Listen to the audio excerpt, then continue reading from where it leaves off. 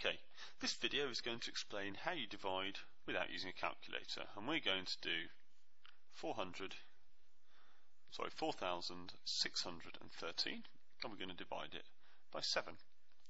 So first of all we're going to make the famous bus stop so we're going to write underneath the bus stop our number 4613 and then we're going to divide it by 7.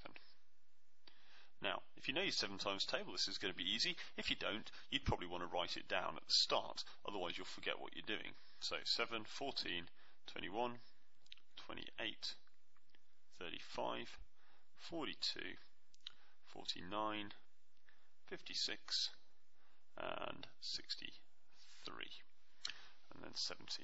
That'll do for now. Okay, so now we hold a little conversation with ourselves. So, 7s into 4 don't go. Move the 4 along, so I haven't used it up yet. 7s into 46 go 6 times remainder 4. Okay, That's because 6 7s are 42, but we had 46, which is 4 bigger. 7s into 41 go 5, because 5 7s are 35, remainder 6. And 7s into 63 go 9 because 9 sevens are 63, remainder nothing, so we can stop there. So, that's the short division algorithm. The only way to get good at it is to practice it. Let's try a slightly harder one. Let's do 1 divided by 8.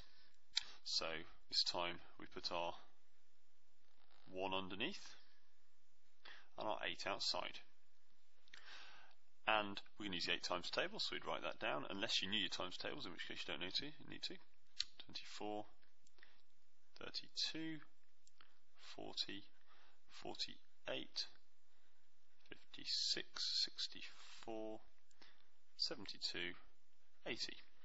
Okay, so 8s into 1 don't go, remainder 1. So we carry that along. So we need to stick the decimal point in here and a whole bunch of zeros in and we can carry on adding zeros. Okay, so 8s into 1 didn't go. 8s into 10, however, go once. Remainder 2. 1 8 is 8. 8s into 20 go 2. Remainder 4. Because 2 8s are 16 and that's 4 smaller than 20. 8s into 40 go 5.